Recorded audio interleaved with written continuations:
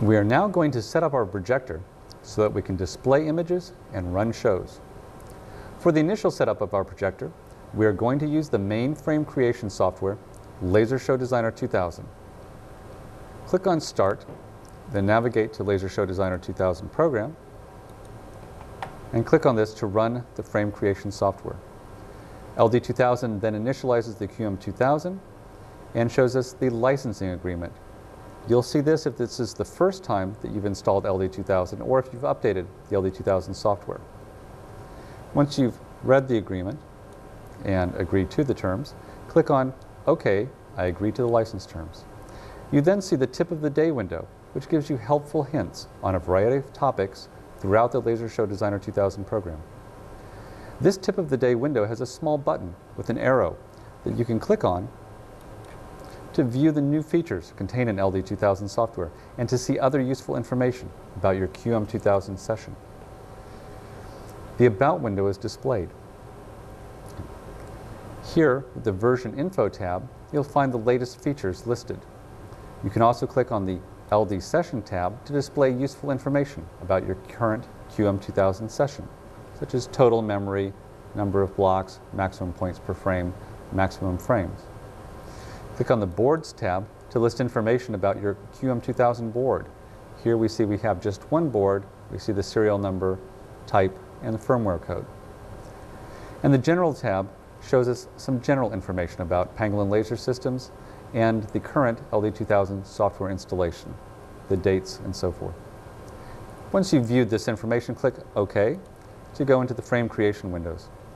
Remember, you can access the About window at any time by going to the Help menu and selecting About LD 2000. If you're using a projector that's wired to the ILDA standard, then plug the male DB25 cable directly into the female DB25 connector on the Pangolin QM2000 card.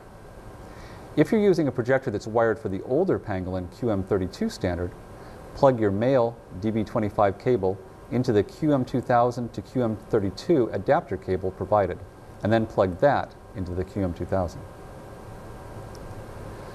Once we've connected our projector and powered up the necessary components, we're ready to display images.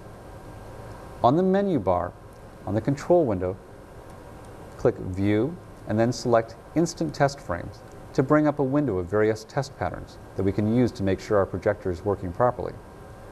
We'll choose the ILDA 30K pattern here. Select OK, write ILDA 30K pattern over frame 1, and we'll exit it.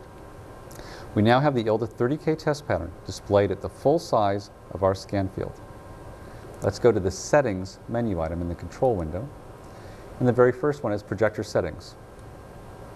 The Projector Settings window is then displayed with various parameters that can be set for your projector. Next, we'll click on the Color Shift section to check the projector's blanking shift. We set the color blanking shift slider so that the top two horizontal lines in the ILDA test pattern stop around the top vertical line. As I move this left or right, you'll see those two lines move one side or the other. They appear to be most centered here, which is actually a color shift of 5. This is the proper setting for this particular projector. Now we'll click on the Defaults tab and click on Save Settings into LD Startup File.